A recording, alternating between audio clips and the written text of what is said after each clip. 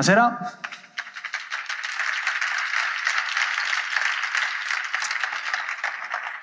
Di cosa parliamo stasera?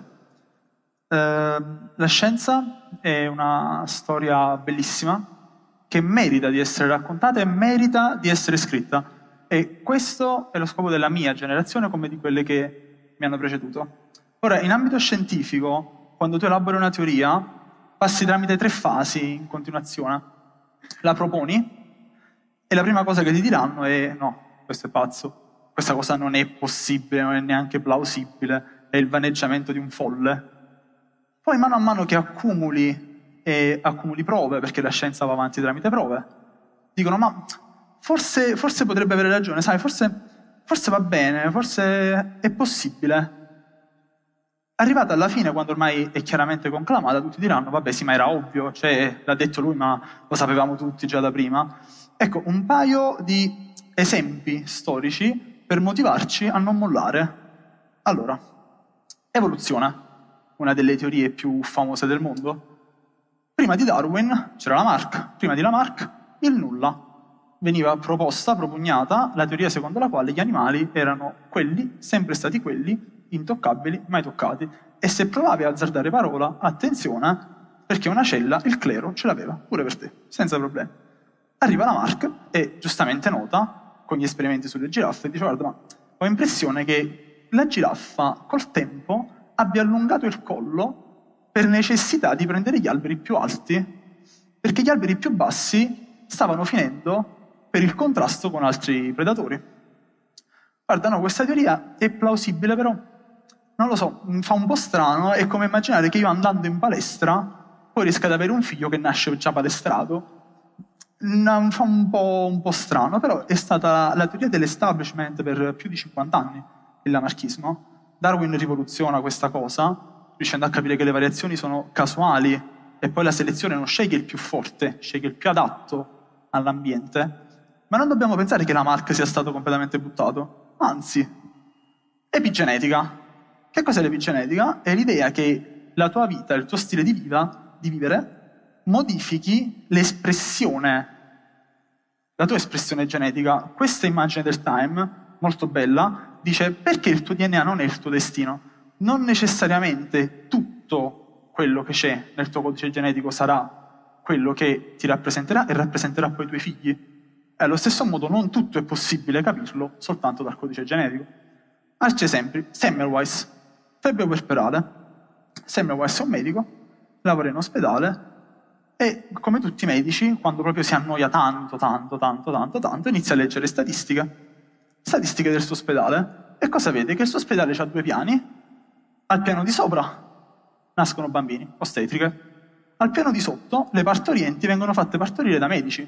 E uno potrebbe pensare, beh, medico più qualificato, più bravo, farà partorire meglio.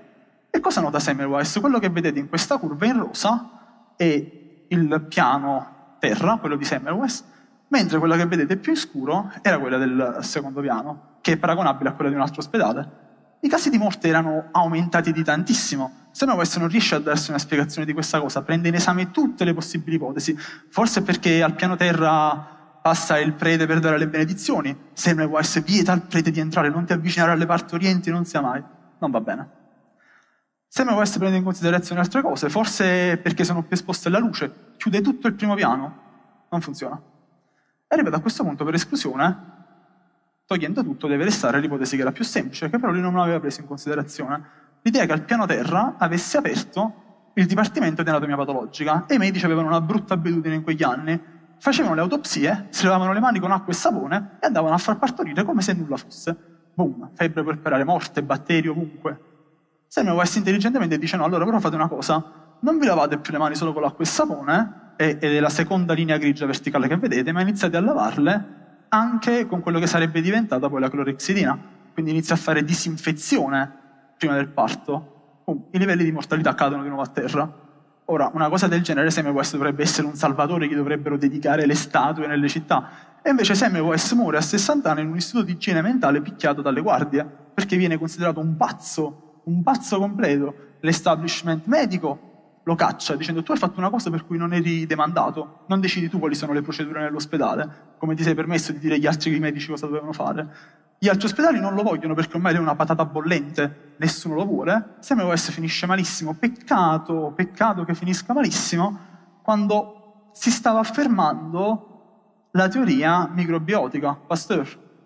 Pasteur ci arriverà per tutte altre vie, lo dimostrerà, Pasteur avrà la fortuna di vivere in un ambiente molto più aperto dove la sua teoria sarà accettata. E infatti, l'immagine che vedete qua si chiama Streptomyces Sky, è una cosa molto carina, i dipartimenti di microbiologia sparsi per le varie università ogni anno fanno questa specie di concorso d'arte, dicono proviamo a dipingere con i microbatteri, bene questo qua è Streptomyces Sky fatto con Streptomyces, molto carino, questa è una piazza di vetro. Ora, questi sono degli esempi che devono spingerci a fare due cose. Uno, a non mollare, perché se non lotti per le tue idee, o tu non vali niente, o le tue idee non valgono niente. Quindi, se sei convinto di quello che dici, se sei convinto di quello che fai, portalo avanti fino in fondo. E due, devono spronarci a ricordare che a volte l'esito non è necessariamente quello che è stato il viaggio. La mia generazione, la mia generazione si trova in un ambiente medico dove hai 8 mila miliardi di articoli su un argomento? Fantastico, perfetto. Qualcuno di questi articoli dice la stessa cosa dell'articolo precedente? Follia. Hai articoli che si contraddicono sulle cose più basilari di questo mondo. Quello che tu vorresti fare è, come avete visto in questo breve stacco di Nanni Moretti d'aprile, nasconderti dietro questi articoli e dire guarda, io non c'entro niente, non lo dico io, lo dicono loro, prenditela con loro, la colpa non è mia. Ma non puoi fare questo, un medico non può fare questo, una persona di scienza non può fare questo. Noi dobbiamo ragionare, dobbiamo essere critici. Chi ha lanciato l'allarme sulle pubblicazioni?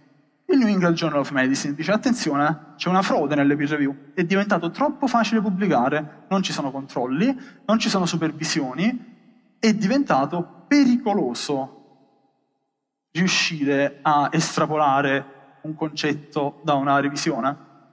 Bene, la nostra generazione come si deve porre sotto questo punto di vista?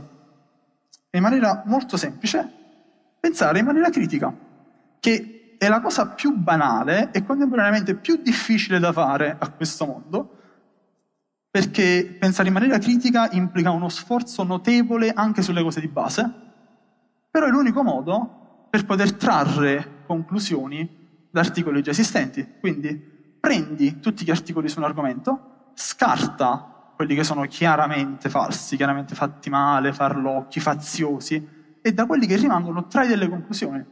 L'evidence-based medicine, che è l'attuale paradigma in ambito medico, sta in un periodo di forte crisi per questo motivo, perché si è sempre basata sull'idea di noi abbiamo delle pubblicazioni, ipse dixit, funziona, fallo. Questo modo di ragionare è decaduto in questo momento, perché il mare di revisioni, il mare di meta-analisi, il mare di scrittura in cui viene a trovarsi adesso in ambito scientifico qualcuno è scoraggiante, disorientante e questo è pericoloso se ci troviamo di fronte a delle persone. Ora, eh, prospettive per il futuro della nostra generazione, roba che non si era mai pensata prima. La stampa 3D.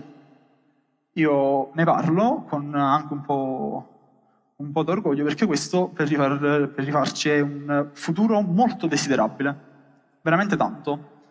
Perché adesso le protesi sono qualcosa di estremamente limitato, di estremamente ferraginoso e non riescono ad essere abbastanza soggettive specifiche per il soggetto. Noi immaginiamo un futuro dove tu, se succede qualcosa, hai la possibilità di progettare una parte del tuo corpo che sia fatta di nuovo apposta per te, sia proprio fatta su tua misura e quindi tu non abbia il problema di doverti adattare a questa se succede qualcosa.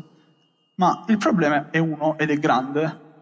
L'uomo si rapporta al corpo umano come un cane si rapporta a un radiatore di una macchina. Il corpo umano è bellissimo, è un orologio senza orologiaio, noi non abbiamo idea di preciso di come funziona.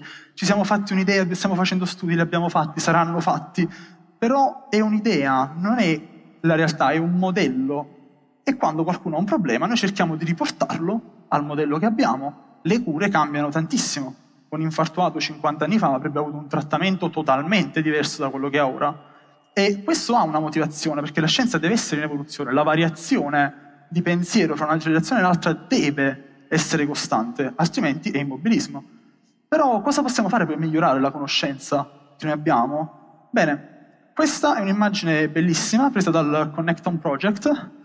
Che cos'è? È un progetto che dice, va bene, allora noi eh, abbiamo il cervello umano, bello, non è che abbiamo capito proprio tanto bene come funziona.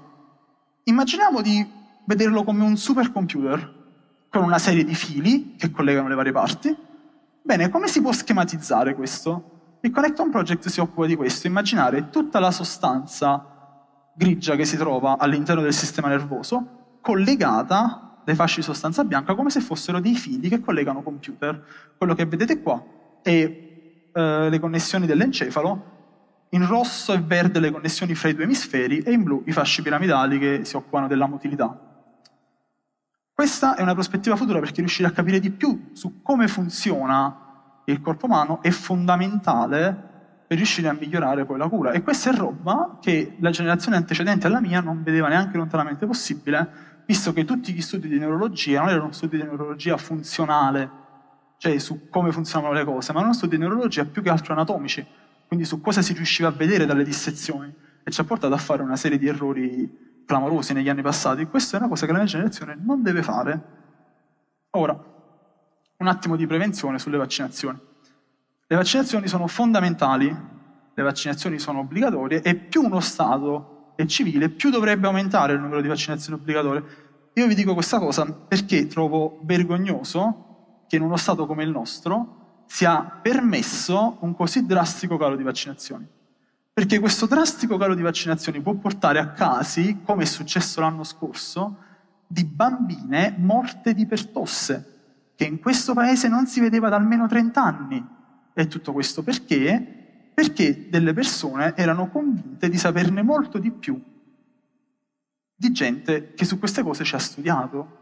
E a cosa è dovuto questo? È venuta a mancare la mediazione. La mediazione culturale sta decadendo, non ci si fida più di nessuno piuttosto che fidarsi del medico o dell'avvocato o del, del commercialista, ci si fida in continuazione di internet, come se internet, per il solo fatto di essere questo gigantesco conglomerato di idee e di persone, abbia la conoscenza assoluta.